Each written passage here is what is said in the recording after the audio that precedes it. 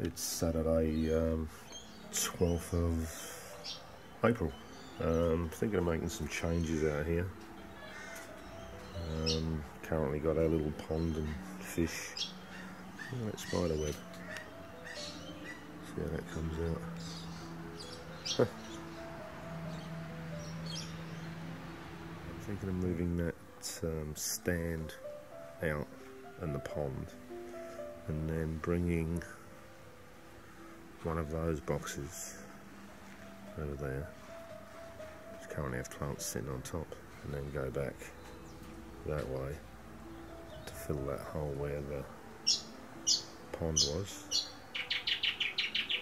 And then where that trestle is just there. Um, I'll replace it with there those are at the end.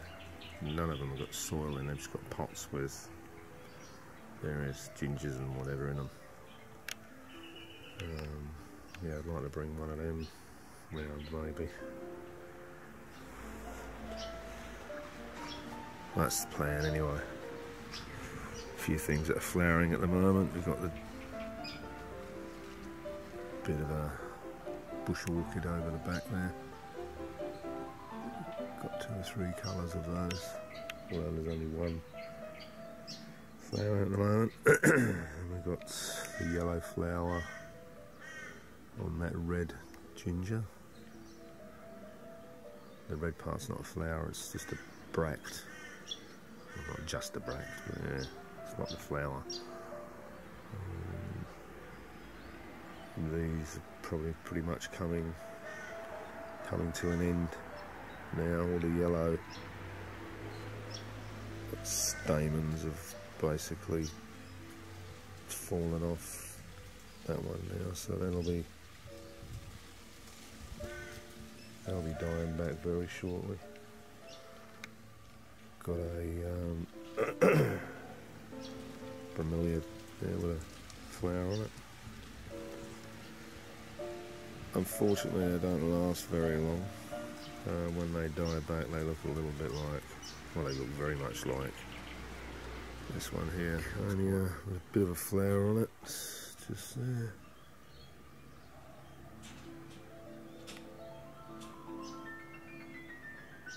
Ginger that I bought last week when when I was when we were down in Brunswick Heads, just over there, called Blue Ice.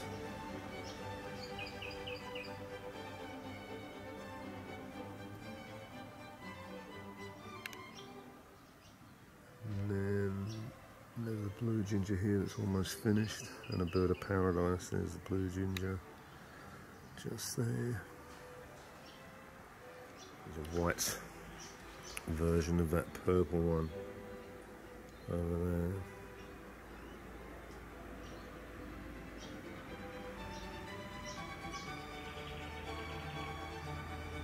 It's known as a Globba. It's not a very glamorous name, is it? These are just about coming to the their end now as well. No, no ginger, costus. And some white curcumas down here.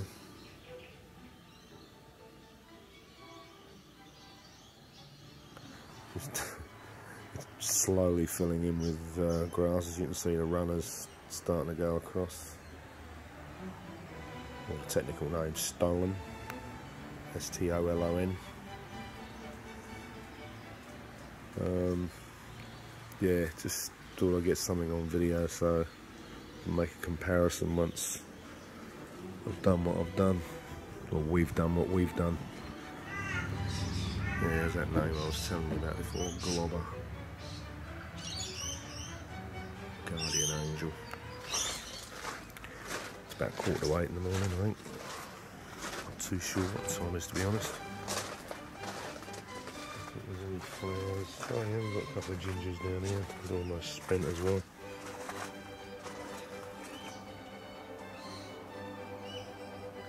Got some in bags up here as well. So I'm running out of pots. Another type of ginger there. Red.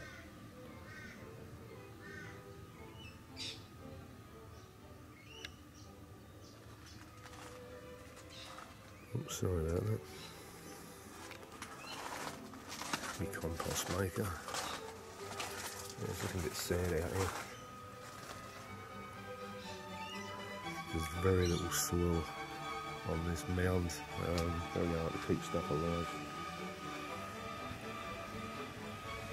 Plus we haven't had any rain for a while. There's that cat. What you doing? Hey, what are you doing? Iris. That's, sorry about the shadow, that's garlic there. And then these are other forms of gingers. There are plants in those pots as well, the ones with no foliage. Very quiet apart from the birds. Bottle brush.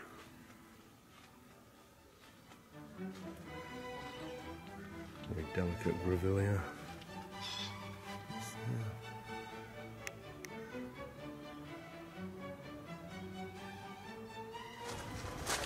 Yeah, so I'm not sure which one of these I'll move. Probably move the closest one, this one.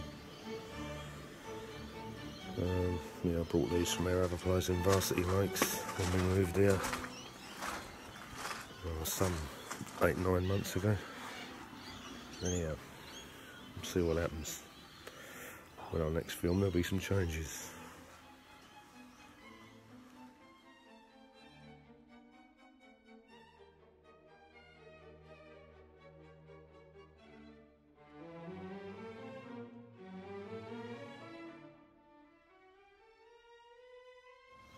we've moved the pond from here, see how that comes out, to here.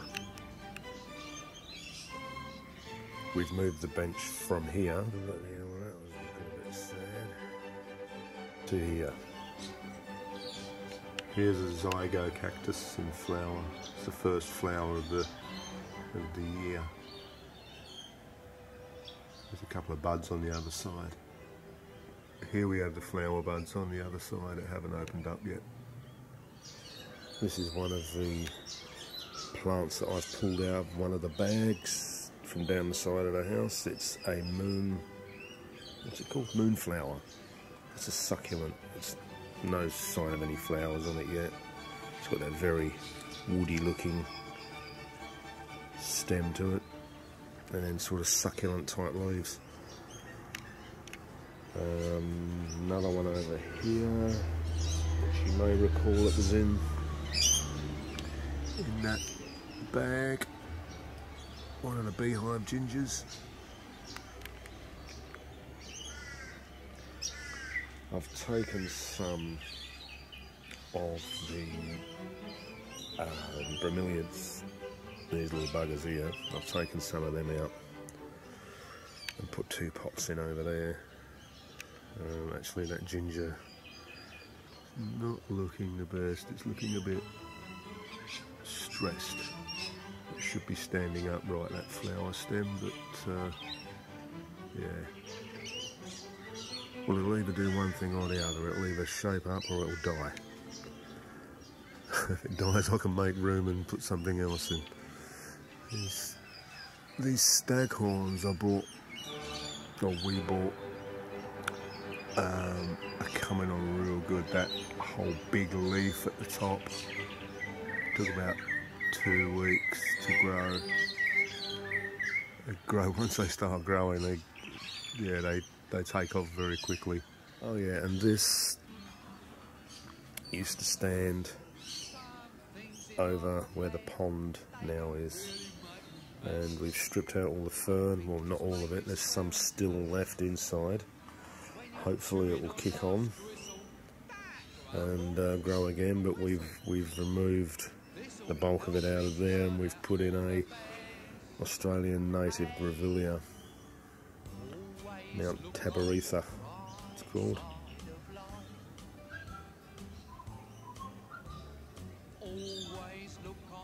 Hopefully you can read that label. And there are the flowers as you can see.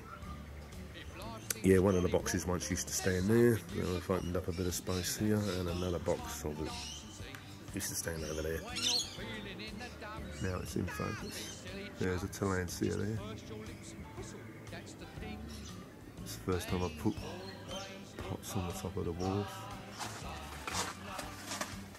I've put in about 15, 20 bromeliads. There's one. There's another. You can see there's quite a few of them here.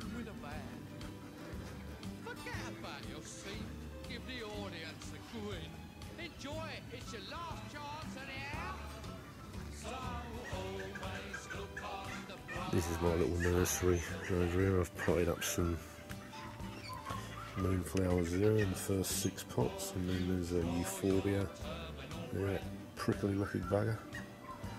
Got a poinsettia behind it, and you'll recognise, probably recognise the red and green.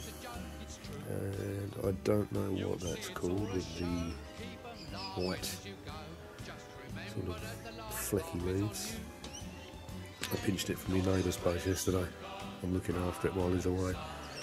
And this is a plant I don't really know its name. Um, you may recognise the leaf. You may not. um, yeah, I've split it up into seven pots. It was in one one big pot, but I needed the pot, so I split that up into seven new plants. Everything should be looking very tropical by um, this coming summer. I've still got some heliconias here, there's another ginger there. Not looking that good, I've got it staked up at the moment, it's gone into a bit of shock. It's not, it's not looking that good at all. Never mind. We've got a lemon tree here, It's a miniature lemon tree with baby lemons on it. It's the biggest one there at the moment. There you have it.